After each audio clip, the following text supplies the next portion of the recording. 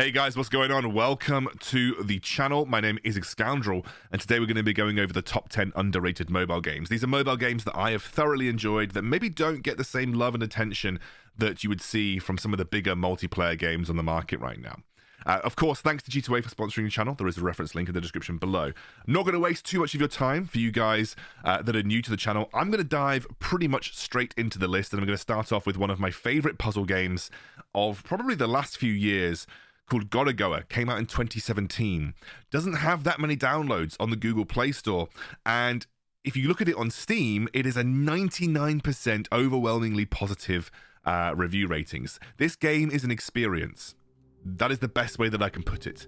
Um, I'll, of course, talk about the pros and cons, but let's start off with the pros. It is a puzzle game unlike any I have ever played. The premise is very simple. You have these four image slots uh, of which you can navigate around different worlds, and you have to find ways to interact with each images to progress the story. I really don't want to give too much away about this game. It, I, what I'm showing you right here is the kind of the first 30 seconds of gameplay because I really didn't feel like there was a, a good reason to show you any further than that. You can see everything that is so magical about this game kind of in this first 30 seconds, but it only gets better from here the way that you interact with the, the, different worlds is just unlike any other game, and I feel like it's just a game that you have to play. But of course, there are some cons. It is a paid game up front. This is not free. It's much cheaper on mobile than it is on Steam, um, and probably more reasonably priced for the amount of time that you get to spend in it. This game took me about an hour to complete. There is so, some replayability value, but not that much. However, I was not dissatisfied with that kind of hour of my life that I'd spent playing this game. It really was something quite special. And uh, I would definitely, definitely recommend that you guys check this out if you have the spare cash to invest in a fun puzzle game. Next up, slightly different, going a bit more out left wing. Get it? Data wing, left wing. Uh, yeah, that's that's a terrible joke. Uh, a little bit more popular than some of the other games on this list, but it is completely free to play, very highly rated on the Google Play Store. So I'd recommend if you've got spare space on your phone, you've got the spare data, go and give this game a look. I would say from my very brief playtesting of the game, it feels a little bit F-Zero X come Asteroid. Obviously very Asteroid type graphics, but the gameplay feels very F-Zero Xy. You are essentially playing a racing game. It has got a story. You are a, a data package delivery service for an AI. Um, and essentially, this AI is kind of like the, I guess, the computer processor. And that little arrow that you're controlling delivers packets of information. But they do it in such fun and unique ways. There are sort of races. There are uh, escape levels where you just have to get to the exit. There are challenge levels where you have to kind of overcome puzzles. So it has a lot of elements of gameplay in there that I find are really fun. And one of the other things that I really love about this game is actually got quite a fun story. The AI is quite sarcastic.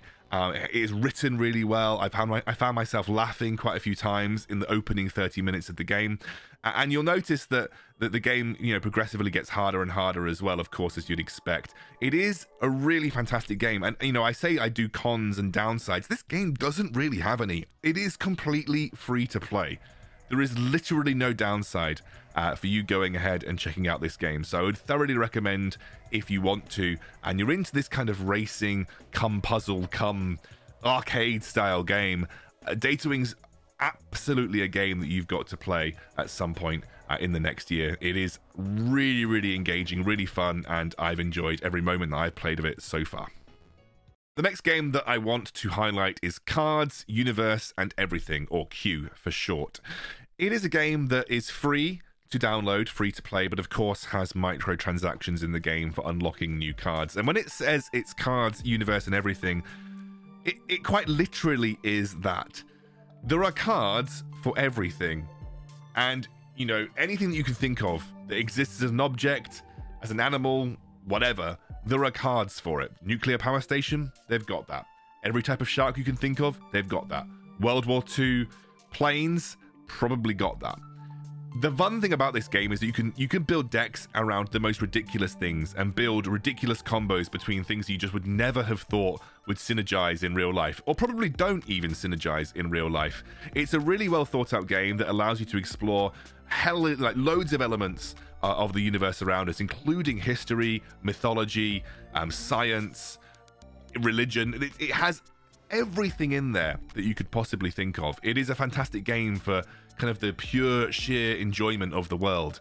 Of course, you know, when we talk about cons, we are looking at the fact that it is play to uh, pay to win to an extent. You do pay to unlock card packs, but from what I've seen, they're quite generous to free to play players, um, and so you can definitely enjoy the game from the outset. In terms of the premise, um, you're seeing what you see on screen. You have rounds, a little bit like Marvel Snap. If you guys have played Marvel Snap, you, there are rounds, and you have three rounds or three turns per round to play your cards.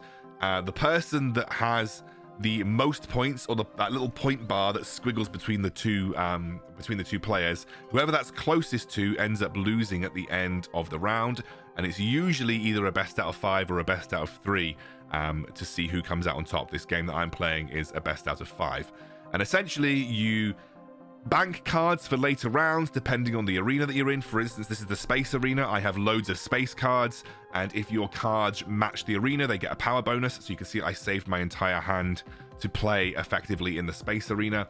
Um, you can play intra round strategies where you pass certain turns and go for big, big, big uh, combo rounds later on loads of different strategies that you can employ in CUE. And if you like card games and you want to have a check at this something out that's free to play, please do so. It is really fun. I've had a lot of fun playing it as well. Coming in at number four is Void Pyramid, completely free to play, no in game app purchases, and it is a full game available to download, made by a single developer. Not everybody will like the art style of this game. It is very retro, so you're looking at stuff that's uh, kind of like old school Game Boy style graphics, pretty much all sprite based, and the fights very much look like they were done in uh, MS Paint. You'll see them soon. You know, it's it is a unique art style for that particular instance, and as you can see, the, the controllers very much reflect Game Boy like controllers as well. So you can kind of see where the inspiration came from for this game. But it is completely free, and there are hours and hours worth of gameplay in this game. Um, if you like those classic type of Zelda games, dungeon crawlery, puzzle solving type uh, 2D games, especially with these RPG elements involved in them as well.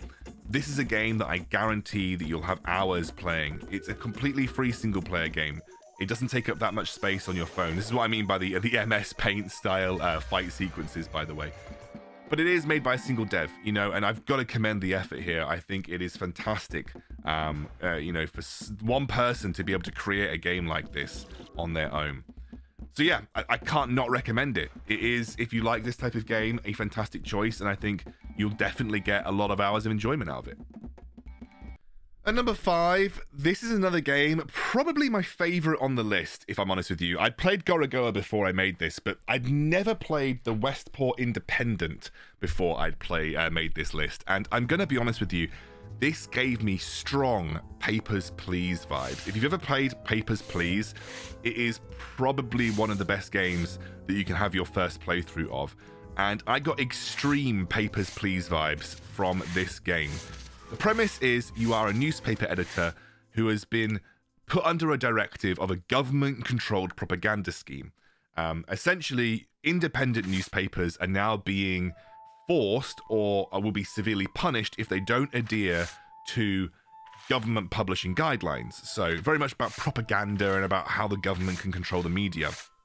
And it's your job to balance kind of getting the real news out there whilst not alerting the government that you're publishing too many negative stories, whilst balancing the views of your journalists that you work with, whilst also trying to sway the public in one way or the other. You can go down the full propaganda route. You can be an editor that fully gives in to that government propaganda and tries to get the majority of the public on the loyalist side. Or you could be that rebel editor trying to sneak out those news stories that ignite the public and kind of at least try to uh, promote a revolution. It is uh, a very, very interesting game. I, again, I don't want to show you too much of the gameplay, um, but it is very, very complex. You've got so many decisions that you can make uh, in terms of publishing news stories and papers and which ones you choose. And there are several endings that you can play for. And is again, I cannot believe this game is free. It is really, really, really top tier mobile game. Um, and I haven't yet played it through. This is one of the few games on the list that I'm going to go back and absolutely play as soon as I'm finished doing this. The other ones, you know, will definitely take my time to get through. But this is the game that you're going to see me playing this evening in my bed playing through uh, to try and get one of the endings. Again, I think that that overview hopefully tells you all that you need to know, but I cannot recommend this one enough. From the from the sort of the half an hour to an hour that I've played from it already, I was almost hooked. I didn't make this video almost because I was playing this game for too long. That probably tells you all you need to know. Another game that I can't quite believe is free is Mindustry. If you've ever played a game like Factorio, you'll know exactly the type of game that I'm talking about. It is a factory building simulator, mining, conveyor belts, logic gates, essentially setting things up immaculately so you have automated production all the way across your base. And with Mindustry, there is also tower defense and RTS elements too. It is a brilliant, brilliant, brilliant game. Uh, I've played it through a long time ago on the PC. Uh, I didn't even realize it was on mobile, but have found that you can essentially download it for free on Google Play and iOS. And it is essentially that complete full package game. It is absolutely brilliant. And again, if you're into this type of game, Mindustry will kind of scratch that itch on your mobile. If you're into the type of games where you like setting up your base, you like having immaculate, you know, conveyor belt systems. You love kind of the logic behind kind of setting these conveyor belt systems up properly as well. Then you know you're going to absolutely love what Mindustry uh, can provide for you.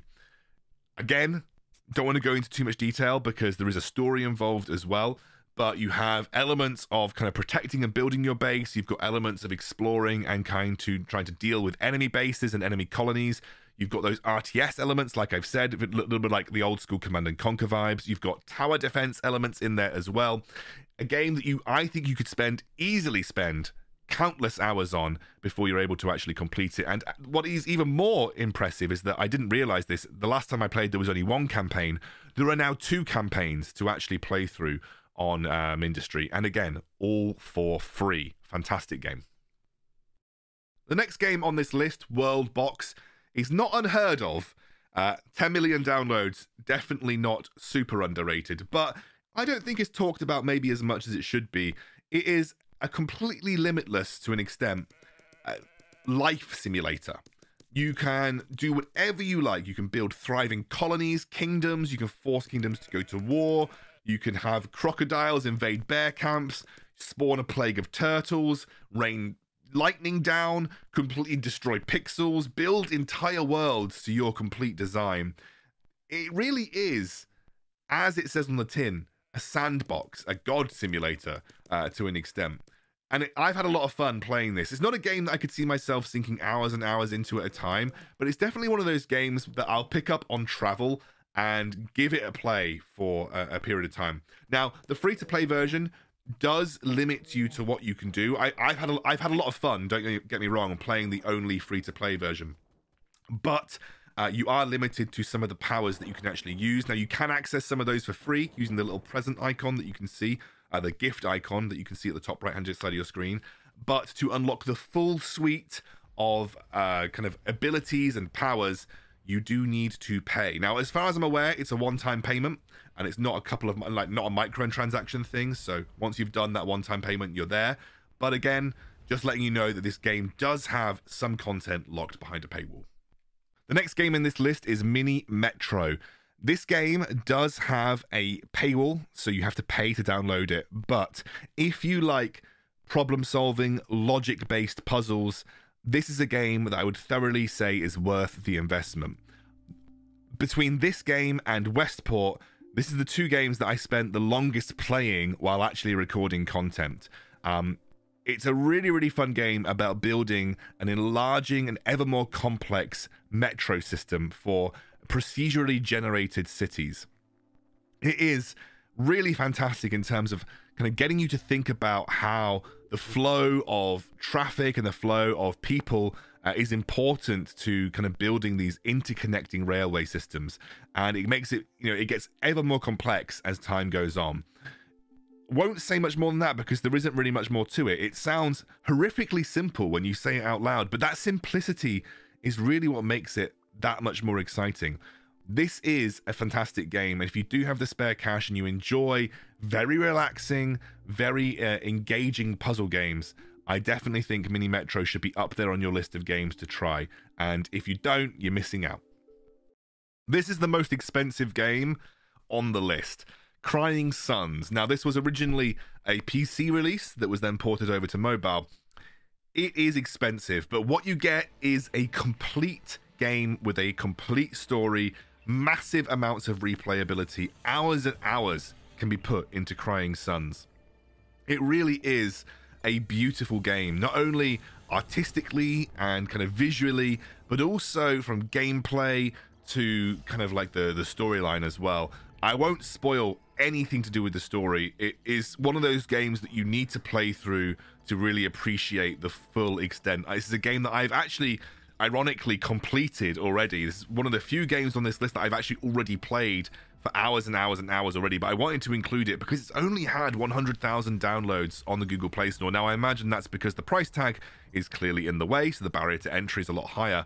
Uh, but if you do have, you know, a spare $9 or so and you're looking for a game to play on your phone that will keep you entertained for hours, Crying Suns is definitely it. In terms of gameplay, it's essentially it's hard to describe. There is lots of elements to Crying Suns. It is a kind of like a rogue-like, so you obviously upgrade over time by playing numerous runs because obviously you're not you don't complete the game on the first run through, at least if you do, you're very skilled. Um, there are kind of like a real-time um, tactical battles, which you use fleets and guns in, in, in battle with other ships. There is an upgrade pathway for your character and your ships. There's plenty of different ships. There's different storyline paths you can take. Essentially, it has everything in it in terms of you know fun, enjoyable roguelike elements. So I would thoroughly, thoroughly recommend this game if you can afford it. And it's also one of those times that I actually say it's worth the price tag. Um, like I said with Gorogoa, I think it's one of those games that it's absolutely a must play in my eyes, but it's a short game and might not be worth the price tag associated with it. Crying Suns, absolutely worth the price tag associated with it. It is a really, really brilliant game. Number 10 is Terraria. Certainly not an unknown game. For those of you that have played on PC, you'll say, why the hell is this in your underrated games? This is one of the most critically acclaimed games of all time. Yes, but not everyone knows it's on mobile, and that's why I wanted to put it on this list, just to make people aware that you can get Terraria on your mobile. Now, for those of you that have played through it on PC, you probably won't want to pay the cost. There is obviously uh, a download cost. I believe it's $4.99 for me. I don't know what it would be for everyone else. But there is a download cost, so if you've played this on PC, probably not something that you're going to be interested in. If you have never played Terraria, however, thoroughly, thoroughly recommend giving this a go, especially if you haven't got a PC to play on. This is a cross between Zelda and Minecraft, is the best way that I can put it. It's got all of the resource gathering, base building, crafting elements that you'd expect to see in a game like Minecraft, but it has a much richer um, RPG driven storyline and kind of like upgrade uh, mechanics that you'd expect to see from more tra- a, a, more tra- traditional RPG. Wow, I can't talk. I'm not going to edit that out because I can't be bothered. I've already had to do this section about 17 times. but it is a very, very, very good game, and it has hours and hours and hours of gameplay. And not only that, it has fully functional multiplayer on uh, the mobile version as well. So you can play with your friends or your family members. You can build worlds together. This is one of the most critically acclaimed games of all time for a reason, but now on mobile. And that's why I wanted to include it in this list, despite it not being underrated as a title, but maybe underrated as a mobile game. And that completes my list. I hope you find something on here that you guys feel like playing in the near future.